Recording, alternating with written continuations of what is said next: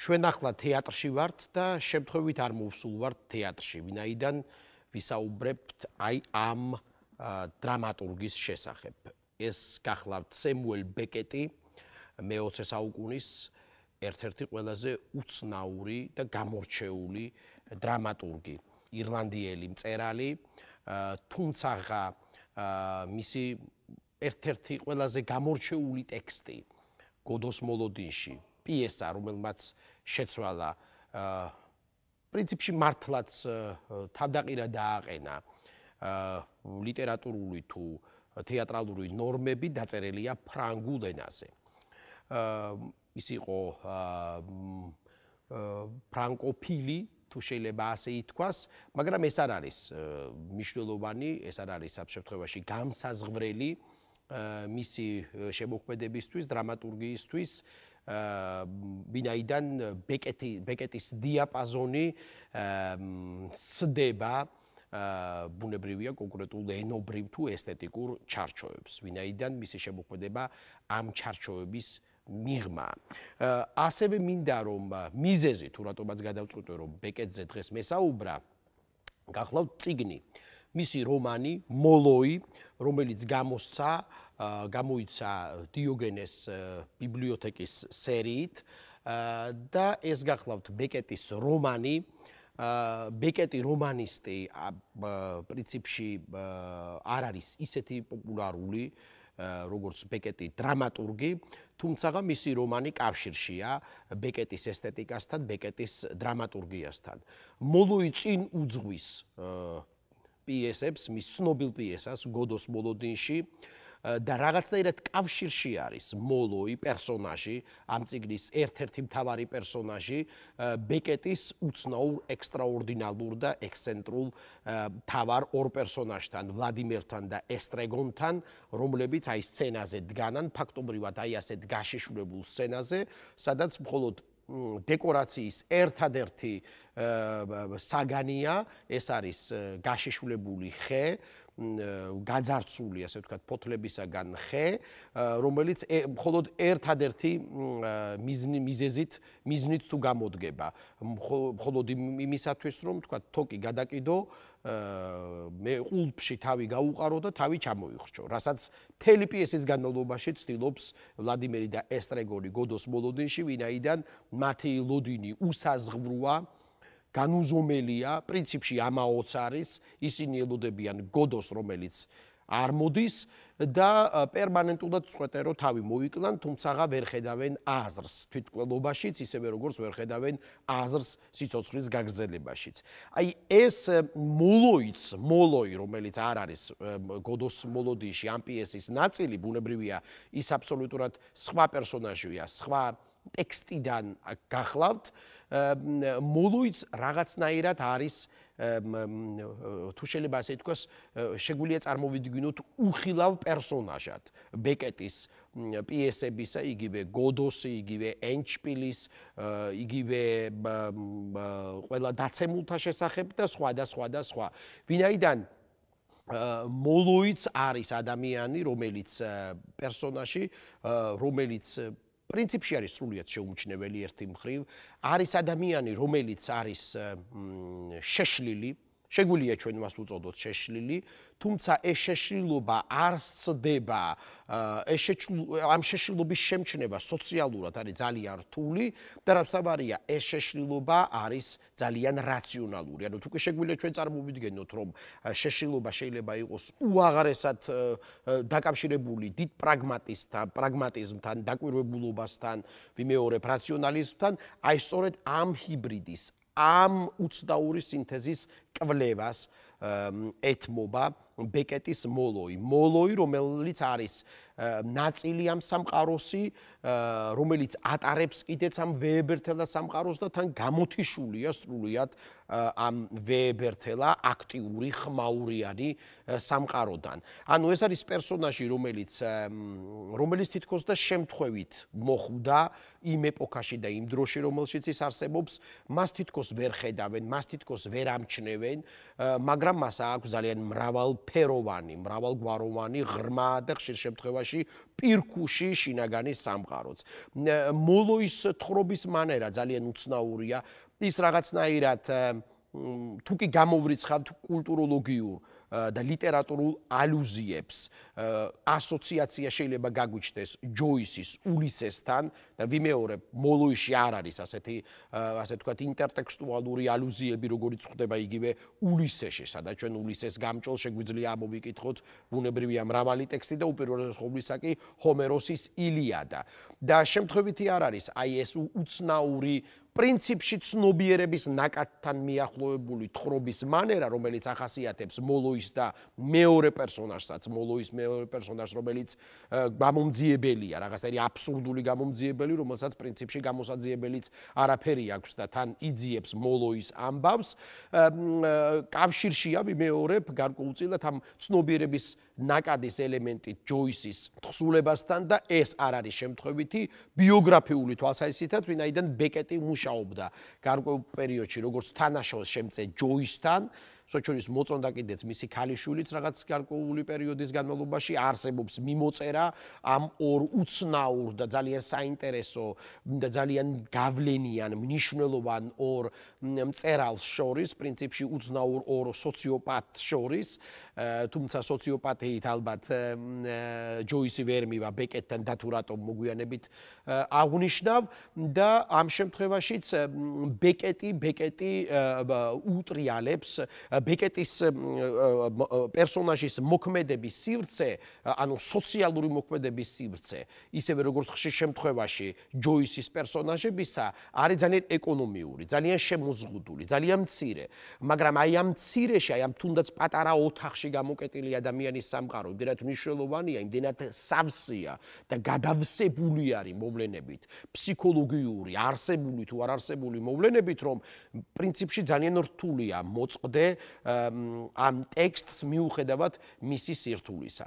მოლო იქნება ეს თუ ვლადიმერი იქნება ეს თუ ესტრეგონი იქნება თუ სხვა თუ სხვა ბეკეტის პერსონაჟებისა, როგორც აი თუნდაც აი ამ ძალიან შესანიშნავ ციგნში, რომელიც ეძღვნება ბეკეტს და ბეკეტის ასე თქვათ ბეკეტს იხსენებენ მისი თანაშემწეები, მისი კოლეგები, რეჟისორები, მსახიობები და სხვანი და სხვანი, ერთ-ერთი კრიტიკოსი იმასაც კი დასძენს, რომ აა პრინციპში ჩვენ შეგვიძლია უკვე და ყოველთვის შეგვეძლო, მაგრამ ბეკეტმა ამის აღმოჩენა უფრო გაგვიიოლა, ან ყოველ შემთხვევაში მიგვინიშნა ამაზე, რომ ჩვენს გარშემო შეგვიძლია ამოვიცნოთ ბეკეტის პერსონაჟები. და სამყარო მართლაც უხვად არის ბეკეტის პერსონაჟები დასახლებული და ერთ-ერთი რეჟისორი იმასაც კი იხსენებს რომ როდესაც ის მუშაობდა პიესაზე გოდოს მოლოდინში ის სპეციალურად დადიოდა თქვათ მეტროს სადგურებში თქვათ ხალხმრავალ ადგილებში რათა ამოეცნო აღმოეჩინა და დაკერებოდა ეგრეთ წოდებულ ბეკეტის პერსონაჟებს. აი რა არის ეს ბეკეტის პერსონაჟი? ხო ადამიანი რომელიც აბსოლუტურად კონცენტრირებულია საკუთარ თავზე და თითქოს ვერ ამჩნევს გარემოს. ადამიანი რომელსაც გარკვეული პრინციპში პასიური ამის გამოვლინების თვალსაჩინო კონფლიქტი აქვს თავის გარემოსთან, თავის დროსთან, თავის ხალხთან, ადამიანი რომელიც იდენტობას ვერ ამყარებს თავის რეალობასთან და თითქოს ის შემთხვევით მოხვდა ამ დროში. ხომ? აი ესეთი პერსონაჟები, რომლებიც აი თქვა პასიური თუ რადიკალური გამოვლინებით მეტნაკლებად მართაც ხვდებიან და ხვდებოდნენ ჩვენ ცხოვრებაში, ხომ? ადამიანი რომელიც სადღაც შუმად ზის, თავის თავში არის წასული, ხშირ შემთხვევაში თქვა რადიკალურ ფორმას თუ კი გავიხსენებთ ადამიანი რომელიც საკუთარ თავს ელაპარაკება ისე რომ ვერ აღიქვამს. რომ მას შეიძლება ხედავდეთ და გარე სამყაროსგან გამოთიშულია. თუმცა ამ შემთხვევაში ზღვარი გადის ხომ? ბუნებრივია და ბეკეტიც მუდმივად აი ამ ზღვარზია სადაც სადაც ძალიან რთულია უკვე გაავლო ასე ვთქვათ ხაზი უკვე ფსიქიკურ აშლილობასა და ერთგვარ ეგრეთ წოდებულ ნორმას შორის, ხომ? აი ამ ზღვრის კვლევას ცდილობს ყოველთვის ბეკეტი და ცდილობს კვლევას აი ამ ეგზისტენციალური, ხომ? ამ ძალიან უცნაური სამყაროსი, რომელსაც კრიტიკოსებმა შემდეგ უწოდეს მას მერე რაც 50-იან წლებში დაიდგა მისი გენიალური პიესა გოდო უწოდეს აი ამ თეატრს და ამ ტენდენციას აბსურდის თეატრი. ისევე როგორც ეჟენ იონესკოს შემთხვევაში, როდესაც დაიდგა მისი მელოტი მომღერალი ქალი, ფაქტობრივად ამ ორ დრამატურგს მიუხედავად მათი აბსოლუტური განსხვავებულობებისა, განსხვავებულობისა მოიხსენებენ ხშირ შემთხვევაში, როგორც ასე ვთქვათ, ერთ-ერთ სიბრტყეში, ვინაიდან ამ ორი ავტორის, ამ ორი ტექსტის გამოჩენით იწება აბსურდის თეატრი. თვითონ დრამატურგებს, თვითონ სემუელ ბეკეტს მაგალითად, ისევე როგორც ეჟენ იონესკოს ზულდათ პირდაპირ მნიშვნელობით ეს დეფინიცია, ისინი თვლიდნენ, რომ ისინი არაფერს წერდნენ აბსურდულს, ეს ტერმინი ეკუთვნის თვითონ აბსურდის თეატრის მკვლევარს, კრიტიკოს მარტინ ესლინს, რომელმაც გამოაქვეყნა კიდეც მე საუკუნის 60-იან წლებში წიგნი აბსურდის თეატრი, მაგრამ ბეკეტი იონესკო თუ კი ამბობდა, რომ თუ კი მაინდა-მაინც დეფინიცირება საჭირო, მას უფრო მოეწონებოდა პარადოქსალური სიტუაციების აღმწერ დრამატურგად მოხსენიება, რასაც სრულიად უგუბებელყოფდა ბეკეტი და ის არ თვლიდა, რომ რაიმე არარეალურს ან გამოგონილს წერდა, ვინაიდან ის ის თილობდა, რომ აღეწერა სამყაროს მართლაც რომ ტრაგიკული, თუმცა ხშირად ეს ტრაგიზმი გადაიკვეთება ხოლმე საოცარ ფანტასმაგორიულ კომისთან სამყაროს მარტოობა, ამაოება და ადამიანის მარტოობა ამ სამყაროში. ასე რომ ბეკეტი ნამდვილად საკუთარ თავს არ უწოდებდა აბსურდის თეატრის დრამატურგად არ მოიაზრებდა ის საკუთარ თავს, ვინაიდან მისთვის ეს იყო რეალობა. ასეთი პერსონაჟები მისთვის ასეთი ასეთი პერსონაჟები ბუნებრივია არსებობდნენ მის გარშემო და ბეკეტიც შეიძლება ითქვას, რომ რაღაცნაირი მოლოია. რაღაცნაირი პერსონაჟი არის თავისი პიესებისა და თავისი ტექსტებისა, იმიტომ რომ ბეკეტიც აი ტიპოლოგიურადაც კი გავს თავის პერსონაჟებს და ბეკეტის უცნაური სოციოპათია, ხო? მოდი პირდაპირ ვთქვათ, მართლაც არის შეიძლება ითქვას მისი ლიტერატურის ნაწილიც, მისი მისი ხედვის, მისი პოზიციის ნაწილიც, ეხლა თუნდაც რა დღირს იმის გახსენება, რომ როდესაც მას მიანიჭეს ნობელის პრემია, ის ისეთ საგონებელში ჩავარდა მარტო იმიტომ, რომ წარმოიდგინა თუ რა საშინელება იქნებოდა წასვლა სტოკჰოლმში და გამოწყობა ფრაქში და ამ ღონისძიებებში მონაწილეობის მიღება მას როგორც ერთ-ერთი მისი მეგობარი იხსენებს პრინციპში დაემართა ერთგვარი ნერვული შეტევა და ამის შედეგად მან გადაწყვიტა რომ გადახვეწილიყო სამხრეთ აფრიკაში რათა მისთვის ვერ მიეკვლიათ და ბუნებრივია ის არ გამოცხადდა და კარგ ახლის განმავლობაში ფაქტობრივად იმალებოდა და ემალებოდა ჟურნალისტებს პრესას და საერთოდ ყველას ვისაც უნდოდა რომ რაღაცაირად ის დაეკავშირებინა ამ ვეებერთელა ასე თქვა პომპეზურობასთან ხომ? მას არ უნდოდა ეს მას მას ბუნებრივია უარი არ უთქვავს ისევე როგორც უარი თქვა თავისი ასე ვთქვათ პოზიციიდან გამომდინარე სარტრმა ან როგორც აიძულეს ვთქვათ საბჭოთა ხელისუფლებამ როგორც აიძულა ხრუშჩოვს რომ უარი არ თქვა ნობელის პრემიაზე მაგრამ ბეკეტმაც ბეკეტმა პიროვნულად ასე ფიზიკურად საკუთარი თავი გამორიცხა და რაღაცნაირად განერიდა აი ამ ყველაფერს. შემდეგაც სხვა შორის არსებობს ძალიან კარგი ფოტოსერია პარიზში, სადაც ბეკეტი დასახდა და პრინციპში მთელი ცხოვრება უბრუნდებოდა ის პარიზს და პარიზში დაიწერა მისი ყველაზე მნიშვნელოვანი ტექსტებიც. როდესაც ის პარიზში ცხოვრობდა, ერთ-ერთი ფოტოალბომიც არსებობს, ასეთი გენიალური, სადაც ბეკეტი აღმოაჩინა სეირნობის დროს ერთ-ერთ ხეივანში ძალიან ჭკვიანმა ფოტოგრაფმა. და ამ ალბომს ეწოდა კიდეც ერთი დღე ბეკეტთან ერთად, სადაც ჭკვიანი ფოტოგრაფი მას ფაქტობრივად შეუმჩნევლად სრულიად დაძდებს უკან და უღებს ფოტოებს. ამ ხეივანს დღეს მონპარნასის מחლობლად ეწოდება სემუელ ბეკეტის სახელი და აი ამ ფოტოებიდანაც ჩვენ მართლაც რაღაცაირად შეგვიძლია ამოვიცნოთ, ამოვიკითხოთ, თუ როგორ უკვირდება ის პრინციპში ისეთ დეტალებს, რომელსაც არავითარ შემთხვევაში სხვა ადამიანი არ დააკვირდებოდა ჩვენ შეგვიძლია რომ ძალიან მივამსგავსოთ და დავიჯეროთ ბეკეტის პერსონაჟების ნამდვილობა. ასე რომ ბეკეტი არის სრულიად უნიკალური ავტორი, მოლოი რომანი, თავად რომანი. მე არ მიყვას, ოდესაც ლიტერატურაზე ამბობენ, რომ ესა თუ ის ლიტერატურა რთულია და გაჭirdება წაკითხვა და სხვა და სხვა. მოლოის არ ჭirdება კომენტარები, ისევე როგორც თქვა შეიძლება დაჭirdეს ჯოისის ულისეს, მაგრამ მე ვფიქრობ, რომ კომენტარების გარეშე შეიძლება ამ ტექსტების წაკითხვა, მაგრამ მოლოი ითხოვს დიდ კონცენტრაციას მკითხველისაგან. რაღაც თვალსაზრისით შეიძლება ჩავთვალოთ, რომ ეს არის მძიმე ტექსტი, ვიდაიდან აღწერს ადამიანის საკმაოდ მძიმე შინაგან სამყაროს, მაგრამ დარწმუნებული ვარ, რომ თუკი ბეკეტს ერთხელ ასე თქვა აღმოაჩენს ადამიანი, შემდეგ მთელი ცხოვრება მისი ერთგული მკითხველი და მაყურებელი დარჩება. ასევე ბუნებრივია შეუძლებელია ჩვენ წარმოვიდგინოთ თეატრი და თეატრალური სამყარო ბეკეტის თეატრალური ტექსტების გარეშე და ბეკეტის ძალიან უცნაური, სრულიად ექსტრაორდინალური და ძალიან ძალიან დამაფიქრებელი ექსპერიმენტალური თეატრალური ტექსტების გარეშე, რომელსაც ის რომელზედაც ის თავისი ცხოვრების ბოლო წლებში მუშაობდა, პირდაპირ ასეც ეწოდება თეატრალური ტექსტები, თეატრი 1, თეატრი 2 და სხვა და სხვა და სხვა და სხვა, სადაც ის ცდილობს გარკვეულ კანონზომიერებაში მოიყვანოს ფორმა,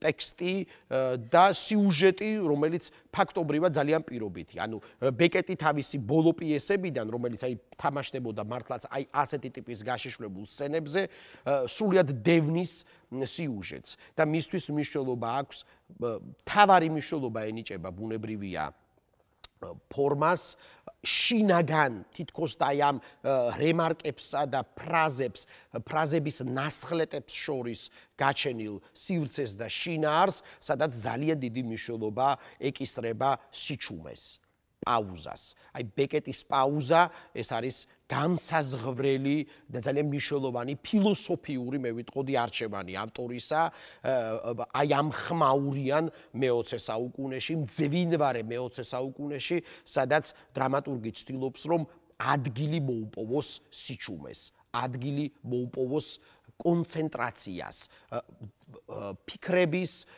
საკუთარ თავთან დარჩენის შესაძლებლობა მიცეს პერსონაჟსაც და შესაბამისად მაყურებელსაც. ამიტომ ბეკეტის პაუზა როდესაც ხვდება ჩვენის ტექსტში, ეს არ არის შემთხვევითი მინაწერი, ეს არ არის რაღაც ამ შემთხვევაში მხოლოდ რიტმული შეკავების, ასე ვთქვათ, მიმანიშნებელი ფორმა, ეს არის ძალიან მნიშვნელოვანი ფილოსოფიური და საავტორო არჩევანი მისთვის და სამწუხაროდ ხშირად აი ასეთ ძალიან მნიშვნელოვან მინიშნებებს ხოლმე ინტერპრეტატორები არ აქცევენ ყურადღებას.